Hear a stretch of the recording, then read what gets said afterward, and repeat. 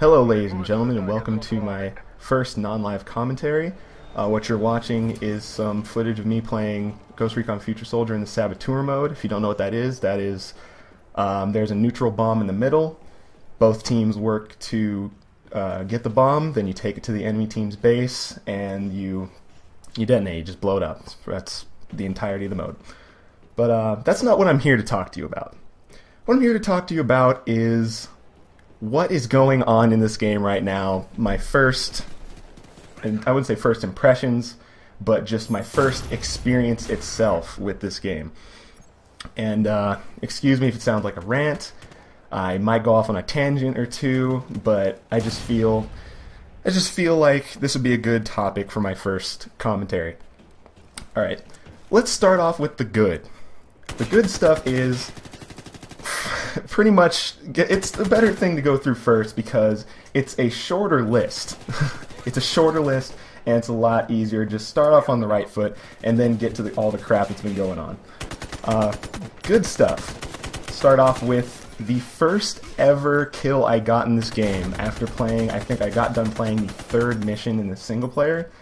The first ever kill I got was the uh, got me the achievement for either killing a employee of Ubisoft or killing someone that has killed an employee of Ubisoft. I was playing on I'm not sure no it, was, wasn't this map it was um it looked like an oil rig or something. I was playing I spawned I walked about I don't know 20 feet turned shot a guy with my MP7 got the achievement. That's that's a pretty good start.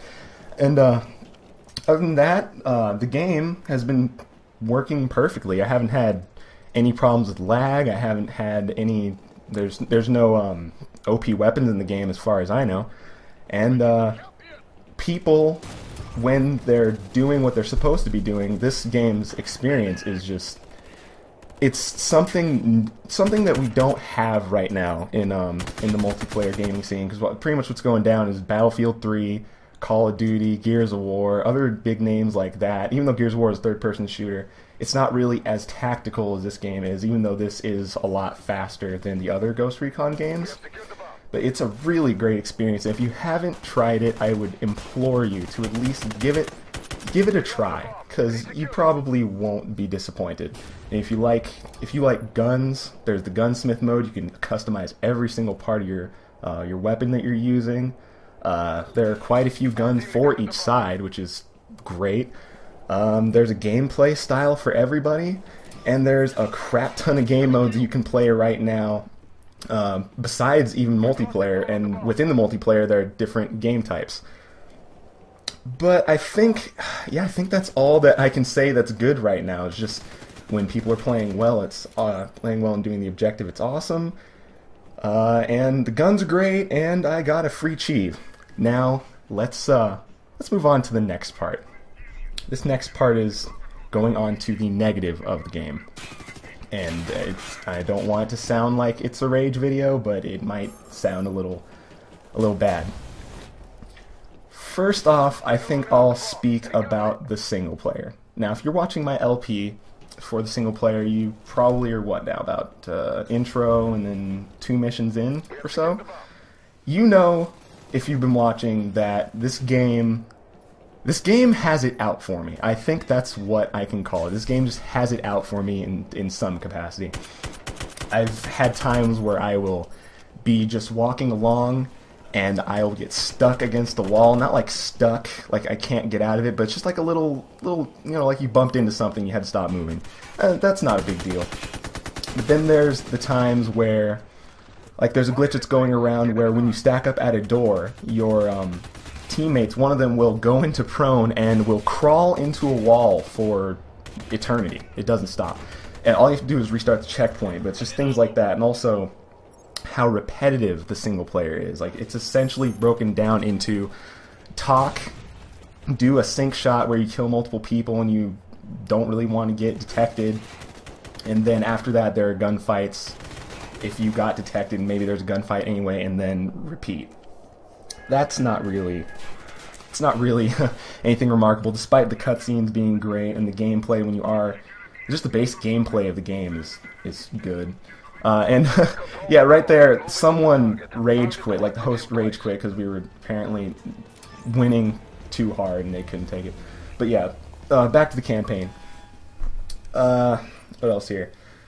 Uh, the, the other glitches, the other glitches like um, just little things like you get off of cover and you're running, or you run, uh, you rush to cover and if you stop in the middle, you have to be really quick about uh, crouching, or else you get uncloaked, or cloak taking a little bit too long to turn on, or people seeing you when they aren't looking at you. That one's always fun.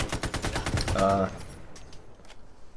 let's see what else is there in the in the game. Let's just I think that's enough for single player because I honestly the LP is going to explain a lot more. Let's go to multiplayer.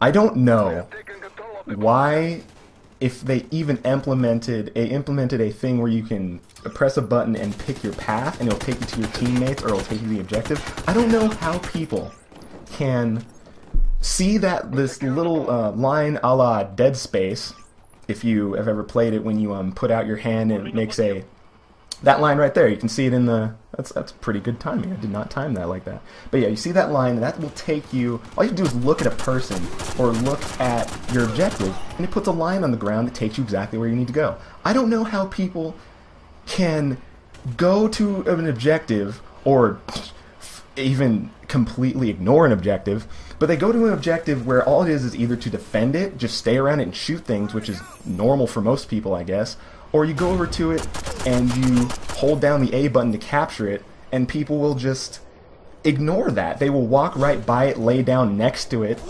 They will do anything in their power to just make it so you do not get that capture. And that's really going to hurt this game if people don't smart uh, uh, smarten up over it. But other than that, the game, uh, the objectives, like I said before, work just fine when you have a team. But it's just the people are just, uh, God, they are they are not anything to write home about. You you really need to play with the team. Um, no no real spamming, no bad stuff, uh, no overpowered guns. Everything is everything that is working fine. It's basically the people and the single player being a little cheap is is lame. But other than that, this game is pretty damn solid. And I'm going to enjoy doing more footage for this and more videos and posting the rest of my Let's Play. But uh, I'll leave you on that note, and I'll see you next time, people.